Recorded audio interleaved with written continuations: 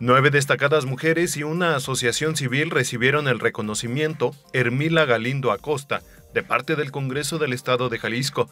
Con esta distinción, los legisladores locales conmemoraron el 8 de marzo, Día Internacional de la Mujer.